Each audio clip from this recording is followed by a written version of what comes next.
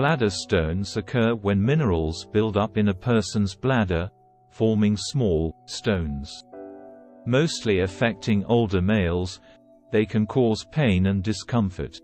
Small bladder stones often pass naturally, but larger ones may need treatment.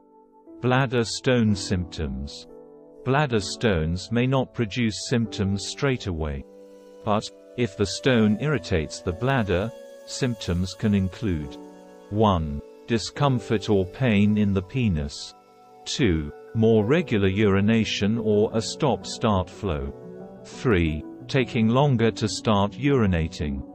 4. Pain in the lower abdominal area. 5. Pain and discomfort when urinating. 6. Blood in the urine. 7. Cloudy or abnormally dark urine. Bladder stone causes. Bladder stones start to grow when urine stays in the bladder after a person urinates. This is often due to an underlying medical condition that stops the bladder from completely emptying. In addition to kidney stones, which can move through the ureters and cause a blockage, other causes of bladder stones can include 1. Neurogenic bladder. If the nerves that run between the bladder and nervous system are damaged, such as in a stroke or spinal injury, the bladder may not empty fully. 2. Enlarged prostate. If the prostate is enlarged, it can press on the urethra and cause a disruption in urine flow, leaving some urine in the bladder. 3. Medical devices Bladder stones can be caused by catheters or other medical devices if they move to the bladder.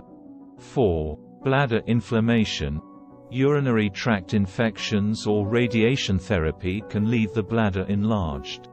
5. Bladder diverticular Pouches can form within the bladder. 5. If the pouches grow to a large size, they can hold urine and prevent the bladder from emptying fully. 6. Cystocele. In people with a vagina, the bladder wall can become weak and drop down to the vagina. 6. This can affect the flow of urine from the bladder. 7. Dehydration. Not drinking enough fluids can cause minerals to build up in the bladder instead of being diluted and removed through the urine. 8. Augmentation cystoplasty. This procedure, in which bowel tissue is attached to the bladder to enlarge it, may cause some urine to remain in the bladder. Complications Although some bladder stones do not produce any symptoms, they can still lead to complications if they are not removed. The two main complications are 1. Chronic bladder dysfunction, this can involve frequent urination that is painful and uncomfortable. 1. Sometimes, bladder stones can completely block urine from exiting the body. 2. Urinary tract infections. Repeated infections can occur. Tests and diagnosis. Diagnosis of bladder stones can include a number of different tests. 1. Physical exam, a doctor might place their hands on a patient's lower abdomen to feel if their bladder is enlarged. 1. If the patient has a prostate, the doctor may examine the rectum to check if the prostate is enlarged. 2. Urinalysis. A urine sample might be tested for signs of blood, bacteria, and crystallized minerals. 3. Spiral CT scan. CT scans combine multiple X-ray images to build a detailed image of internal organs. 4. Ultrasound. This type of scan creates an image by bouncing high-frequency sound waves off of internal organs. 5. X-ray. A healthcare professional may order an X-ray. But not all types of bladder stones show up on an X-ray. Treatments if bladder stones are caught when they are still small, simply increasing the amount of water the individual drinks can be enough to pass them naturally. If the bladder stones are too large to pass in the urine, treatment normally involves either breaking them up or removing them by surgery. Breaking up bladder stones In a procedure called cystolitholapaxy, a doctor inserts a thin tube with a camera on the end into the urethra, the opening found at the end of the penis or above the vagina. The doctor can view the stones through the tube and break them down. The doctor will use a laser, ultrasound, or small tool to break up the stones before washing, or vacuuming, them away. This procedure is carried out under anesthesia. Complications from cystolitholapaxy are rare but can include tears in the bladder wall and infections.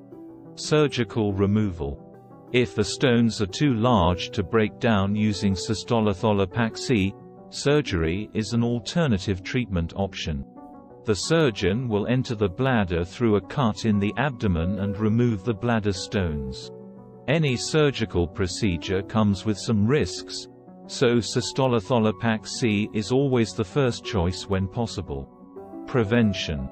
Because a range of medical conditions can cause bladder stones, there are no specific ways to prevent them. However, if a person experiences any unusual urinary symptoms, it is best to get a healthcare professional's opinion earlier rather than later. Unusual urinary symptoms may include 1. Pain 2. Discoloration. 3. Blood. Drinking plenty of fluids will help break down any developing stones.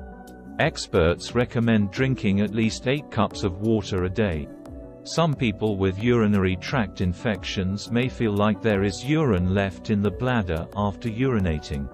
In these cases, it is best to try urinating again 10 to 20 seconds after the first attempt. This is called double voiding and can help prevent stones from forming. If you are new at our channel, please subscribe our channel, it will be great support for us.